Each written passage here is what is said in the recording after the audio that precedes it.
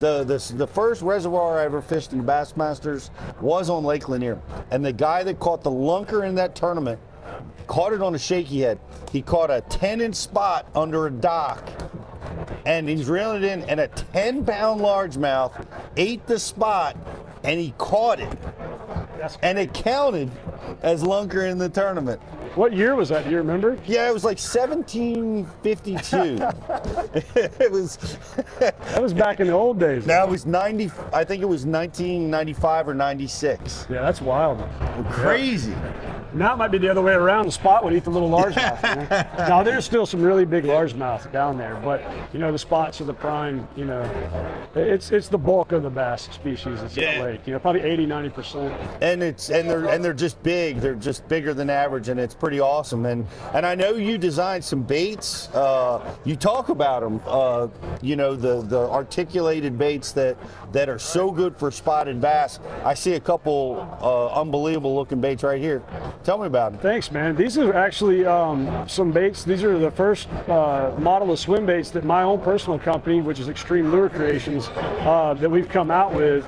Um, you know, long and short of it, there's over the years of fishing down on the herring lakes, you know, a, hard body swim bait is something that's become more and more and more popular over the years because the fish, I mean, there's a good population of these spotted bass and largemouth. They just solely focus on herring. Uh, I'm not saying they won't eat a crawfish or bluegill when they have the opportunity, but they're they are on herring most all the time.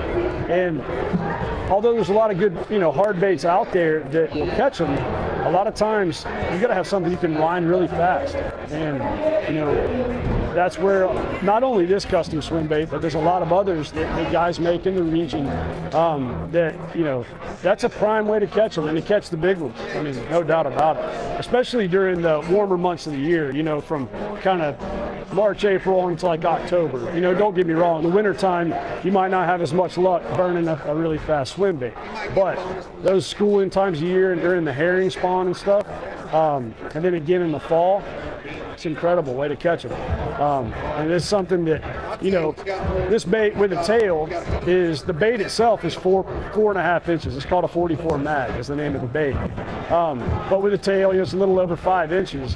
But man, those spotted bass, they come out first year of their life, they're like, they're ready. They're, they're, they're coming. You know, when they start getting around a pound, you know, it's it's blueback. They're eating blueback. So I remember um, talking about these baits, and the thing that stood out to me was um, the you're trying to mimic the straight line flea of the herring, as opposed to the real radical and that's what that's what these baits do, right? 100%. Yeah, this bait right here is designed. I spent many years testing different weight weight uh, configurations and to try to get everything as close to what a real herring looks like in the water.